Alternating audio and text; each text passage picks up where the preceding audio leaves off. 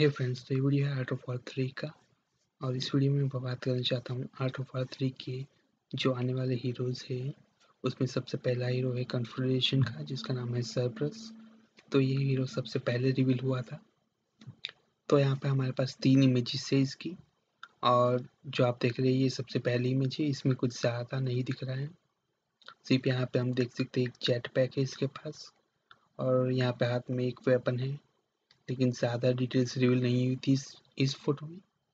यहाँ पे दो चीज़ें दिखे यहाँ पे कंटिन्यूस एडवांस और जेट पैक जंप वो एक स्टोरी थी वहाँ पे उन्होंने दी दी हुई उसमें आगे क्या करना चाहिए उसके लिए ऑप्शन दिए गए थे। तो ये इसके रिलेटेड नहीं है हीरो के रिलेटेड ज़्यादा। तो आगे की फ़ोटो देखते ही उसमें ज़्यादा रिवील होगा।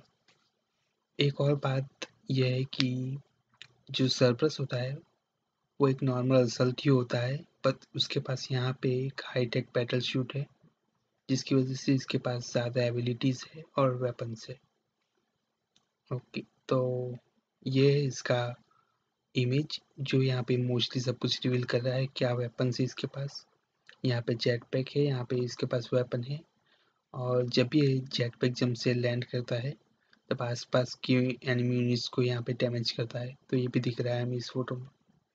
यहाँ पे इसके पास है मल्टी गन और ये बैटल सूट की वजह से ये काफ़ी बड़ा दिख रहा है बाकी कैसल्स के मुकाबले।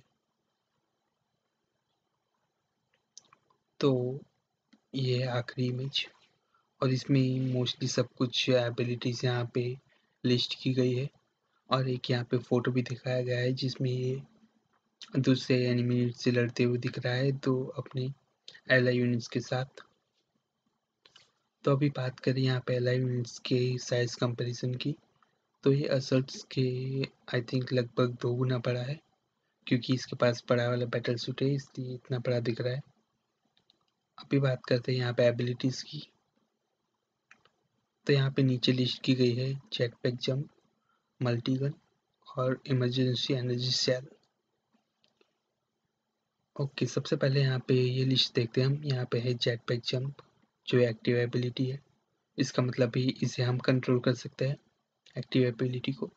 तो यहाँ से हमें कहाँ पे जंप लेना है, वो स्पेसिफाइड पॉइंट हम सिलेक्ट कर सकते हैं। उसके बाद ये टारगेट्स पे यहाँ पे रॉकेट से अटैक कर सकता है। और जब ग्राउंड को हिट करता है, तब आसपास की यूनिट्स को डैमेज करता है ये। तो ये एक्टिव एबिलिटी हम यहाँ पे पूरा इसे कंट्रोल कर सकते हैं। एमरजेंसी एनर्जी शेल ये पैसिव एबिलिटी है तो हम यहाँ पे इसे कंट्रोल नहीं कर सकते।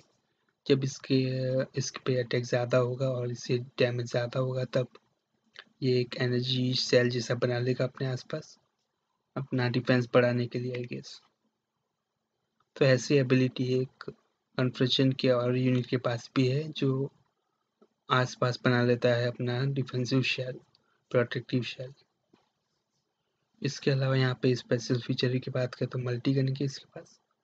तो यहाँ पे जब ये अटैक करता है इन्फेंट्री की यूनिट पे तो ये मशीन गन का यूज़ करता है। और ये जब अटैक करता है व्हीकल्स पे तो रॉकेट लॉन्चर का यूज़ करता है। तो ये थी यहाँ पे इसके सारे वेपन्स की लिस्ट और एबिलिटीज़ हम्म, और इसके अलावा यहाँ पे और कुछ रिवील नहीं किया गया है। वीडियोस भी नहीं है इसके इस यूनिट के लिए। और ये यूनिट कौन सी बिल्डिंग में स्पॉन होगा, ये भी हमें पता नहीं है। कोई नई बिल्डिंग होने के चांसेस तो लगभग नहीं है, क्योंकि कोई कोई भी नई बिल्डिंग आने वाला है, ऐसा कुछ अनाउंसमेंट भी नहीं हुआ है और कुछ रिवील भी नहीं हुआ है। तो जो एग्जिस्टिंग बिल्डिंग है, उसी में किसी, कहीं पे सेटअप किया होगा, सारे नए यूनिट्स के लिए कुछ ना कुछ।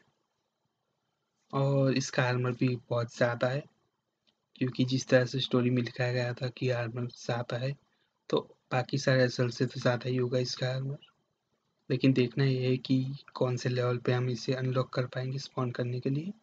हेड का कौन सा लेवल चाहिए होगा, वो सब भी देखना होगा। तो ये था वीडियो सरप्रस के बारे में। अगर आपकी वीडियो पसंद आए तो ज़रूर से लाइक कीजिए और सब्सक्राइब कीजिए।